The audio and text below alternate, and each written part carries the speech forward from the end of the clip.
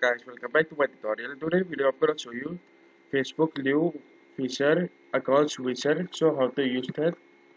So what you have to do is facebook account and you can see over here account switcher so i'm gonna explain about this a little bit. So what is this what this is sorry i'm a little bit of sick. All right so you can see over here add account so when you will click add account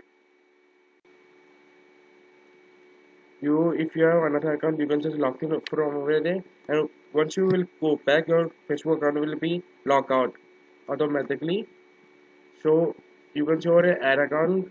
If you want to just log in an account so simply you can just do that. But your recent account will be logged in. So for example i log in my facebook account once again. So now you can check out if i will just click over here and just simply add account and once again it will give and if i will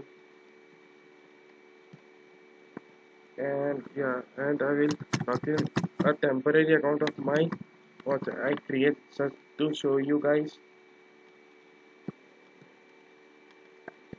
and you can see. So that's all that's what this works.